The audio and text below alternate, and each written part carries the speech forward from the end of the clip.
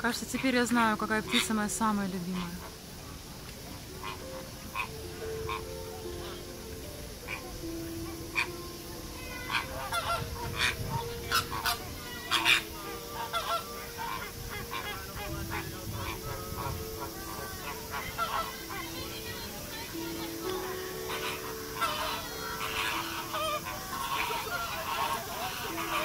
Смотрите, Точно он спрыгнул.